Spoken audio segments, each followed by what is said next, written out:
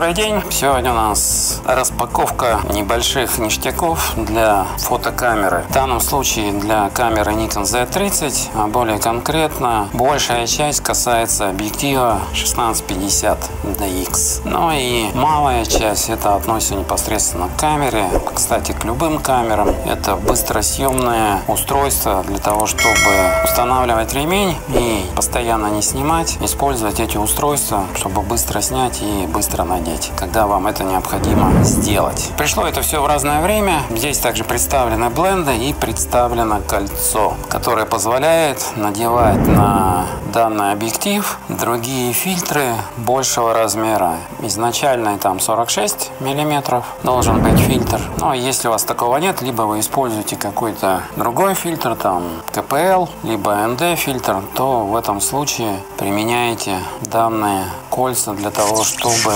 установить на 46-ю резьбу, соответственно, фильтр большего размера. Так, пришло это все в разное время, достаточно тоже быстро, 2-3 недели все это заняло. Возвращай часть потраченных денег с кэшбэк-сервисом Letyshops. Установи расширение для браузера, чтобы отследить динамику цены и найти товар по самой низкой, выбрать надежного продавца и вернуть кэшбэк в один клик. Letyshops. Ну и давайте начнем с кольца, а более конкретно есть у меня переходные кольца различного размера, но заканчиваются они от 49 37 46 размера нету. Заканчивается вот такими вот значениями. Ну и максимальный тут размер у нас идет 82 миллиметра как мы видим. Стандартные кольца распаковка была на моем канале. Ну так вот чтобы устанавливать данные переходные кольца все либо часть Например, на этот объектив понадобится вам соответствующее колечко. Вот оно здесь представлено, которое имеет размер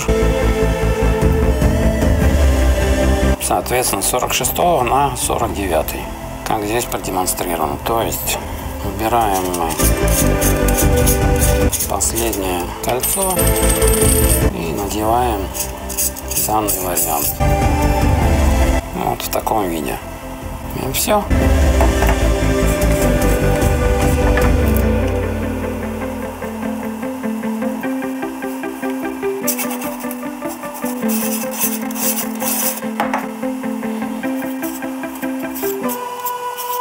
Так, установили колечко и теперь установили переходные кольца.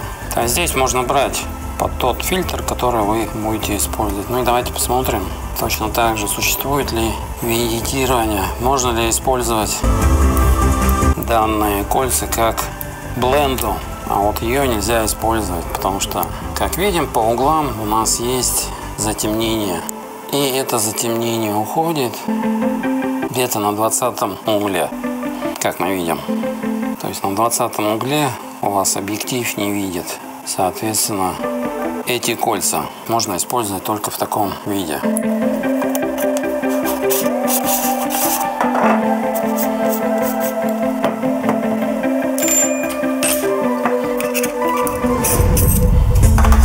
И давайте посмотрим следующий элемент. Это так называемые замки быстросъемы для того, чтобы установить наплечный ремень для переноски и быстро от него избавляться, удалять и также носить камеру без этого наплечного ремня. Пришло вот в таком виде.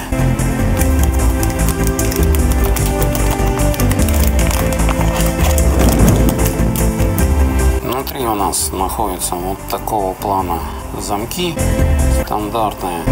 Здесь цвет можно выбрать любой. Там несколько вариантов, но выбрал я по красной полоске данной камеры можете найти свою полоску. И здесь точно так же. Ну и принцип установки здесь простой. Есть у вас камера. Устанавливаете быстросъемы. Здесь устанавливаете наплечный ремень двух сторон и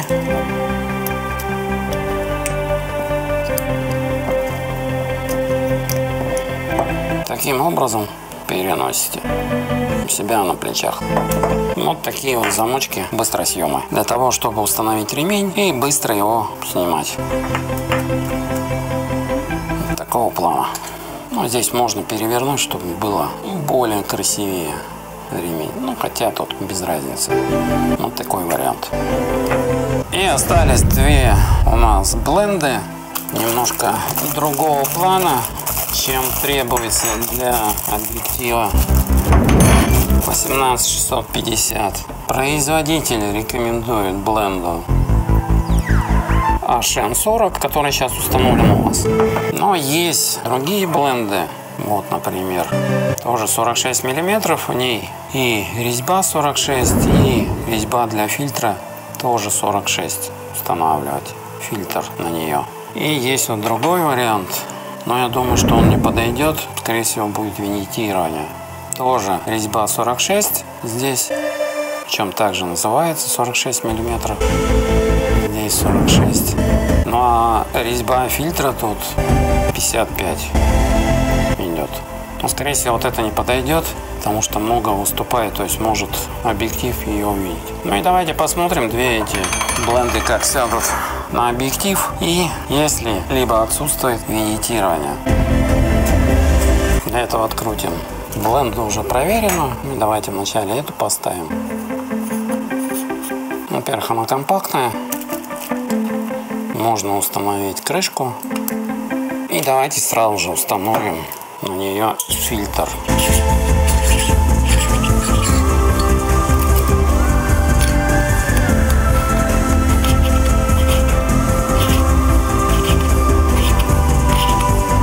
Установили.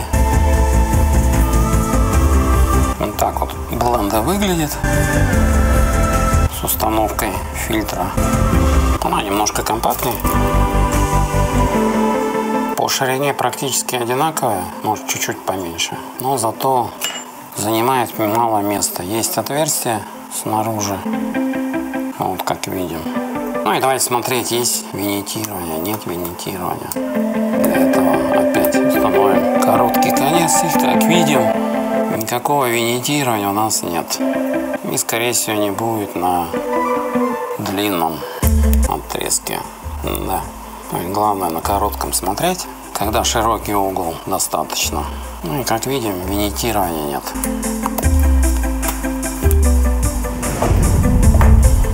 И давайте второй вариант посмотрим, как сядет другая бленда. Нет ли виньетирования. Так, я фильтр не буду снимать, потому что он не подойдет сюда. Здесь 55 нужно диаметр. Вот мы ее накрутили. Такого плана. Тоже есть отверстие. Но здесь она больше выступает. Поэтому, скорее всего, и плюс еще она конусовидная. И давайте посмотрим, есть винитирование или нет винитирования. Опять устанавливаем короткий. И как видим, по углам у нас есть винитирование, затемнение. Ну и где-то убирается на 20 Поэтому данную бленду можно использовать только и если вы не применяете короткий угол 16, а идете где-то 18-20. Поэтому возвращаем обратно ту компактную бленду, которую, скорее всего, здесь и оставим. Так как она компактная, универсальная по сравнению с этой. Ну, а это будет как бы про запас. Кстати, забыли проверить. Ну, здесь тоже можно установить. Он не упадает. Вернее, она не упадает, крышка. Нормально сидит на данной бленде.